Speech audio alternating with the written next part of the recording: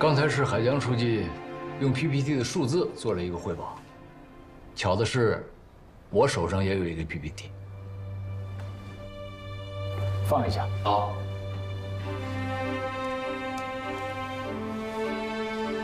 大家看到的这个照片，是咱们当地富春新区一个工地的照片。工地已经停工了，马上就要成为烂尾楼。这个开发商叫鸿升集团。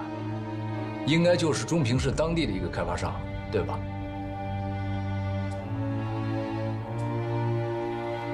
这个是鸿升总部大楼门口，门前打着横幅围着的人，是讨债的供应商、服务商，还有一些买了房子的老百姓，也就是他们的客户。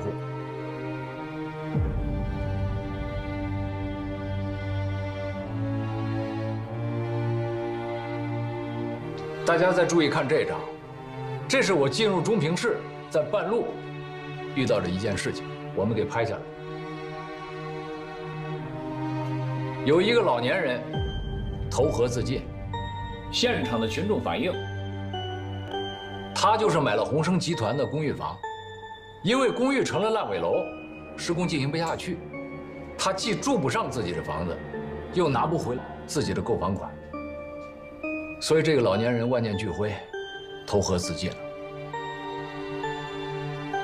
当然，这个案件的确切情况还需要进一步核实查清。同志们，所有的数据都不是百分之一百吧？那么这个老年人是你那个报表当中百分之零点一。那么这零点一，我想。可能要大过你那百分之七十和百分之九十。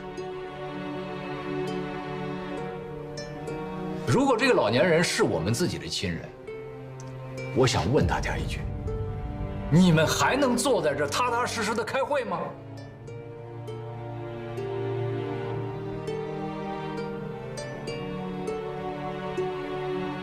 血淋淋的教训，这是一条命。就发生在眼皮子底下。请问一下，中平市市委的各级领导，你们对这个情况了解吗？你们监管到位了吗？好，那么咱们别的先放开不说，就这件事情，我想先听一下，大家有什么看法？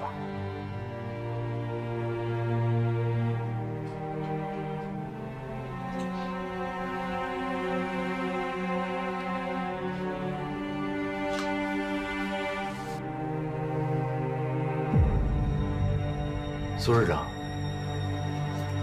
如果大家都不肯表态的话，这个会议可以散会了。呃，局长书记，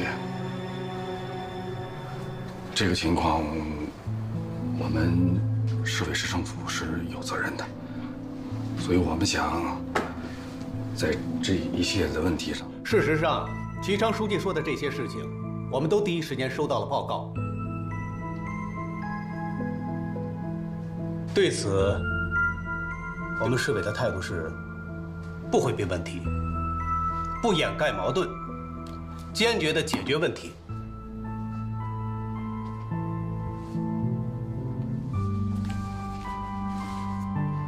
我说完了。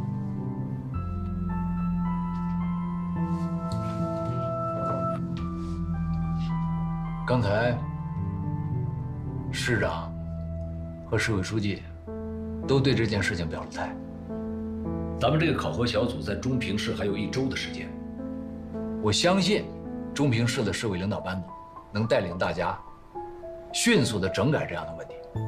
我希望在一周内，我们能拿到一个让上级主管部门、让老百姓都满意的一个答卷。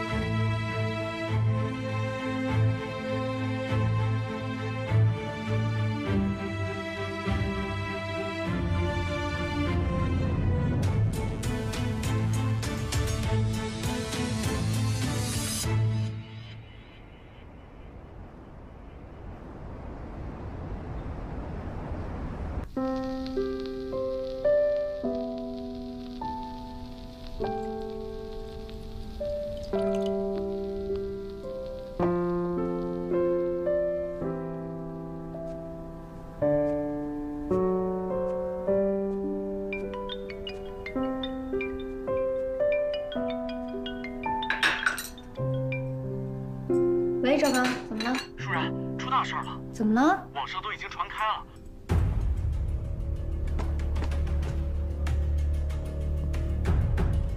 目前宏生地产的楼盘纷纷停工，实控人叶宏生又不知所踪，后续如何交房，又如何将此事件妥善处理？市委市政府有什么具体举措吗？叶宏生作为宏生集团实际的掌控人，在面对企业困难的时候，他不仅没有积极的自救，反而选择了消极的逃避。这样的态度，我们是无法容忍的。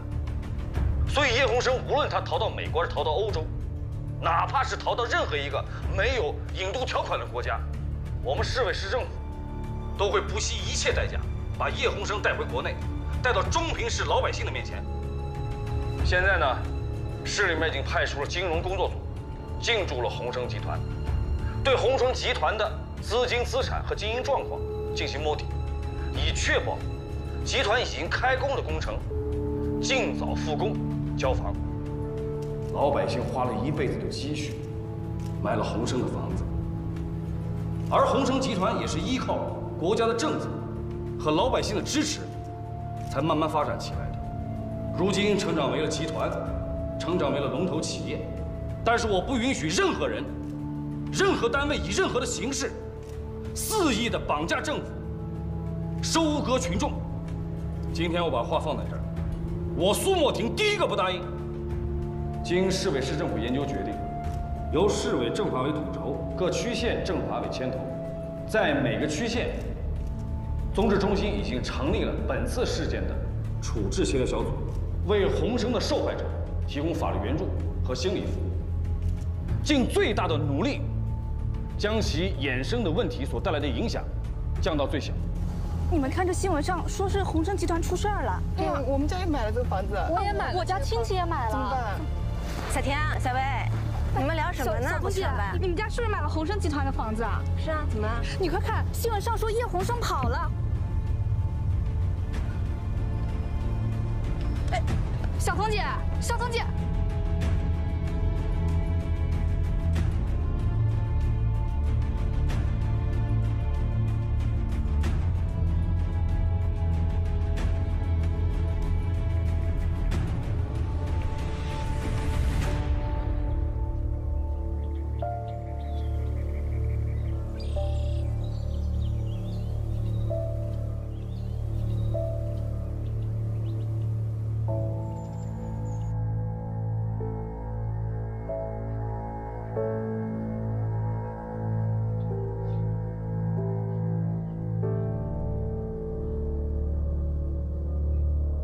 倪先生，您说句话呀！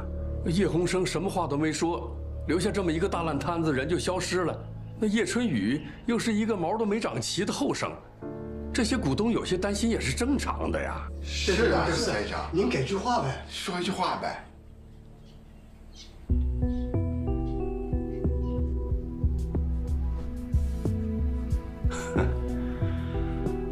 人心不古啊！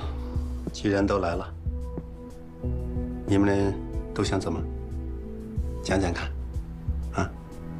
是这样，倪先生，嗯，目前集团手上的资质还是有一定价值的，与其看着它贬值，还不如把把大家的份额拿出来变现。叶兆荣啊，你知不知道自己在讲什么？你这话的意思是说，你们要把宏生的这份家业？就拱手让给外人，不不，是吧？不是，倪先生，我们大家都是商人呐，你不要跟我这样讲话。商人逐利没有错的，但是，我们是不是也应该摸摸自己的良心啊？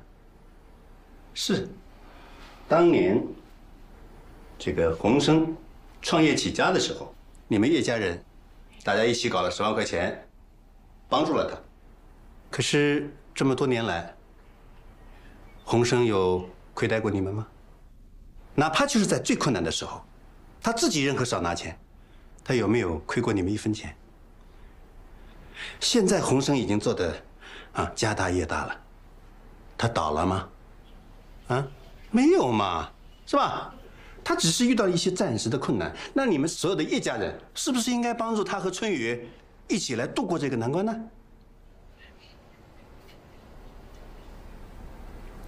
好了，你们既然已经想好了这样做啊，那呢，我就是这样跟你们讲：如果真是到了那一天，呃，我和春雨也会适时的想办法帮助你们。把手里的股权，我们等值的兑过来，帮助你们及时止损，这种可以吧？李先生，您说的到时候那个价格是？我是说事实，现在还没有到那个时候嘛。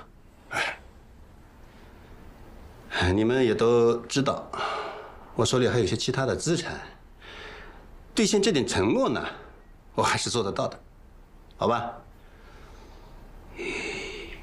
那就都先回去吧。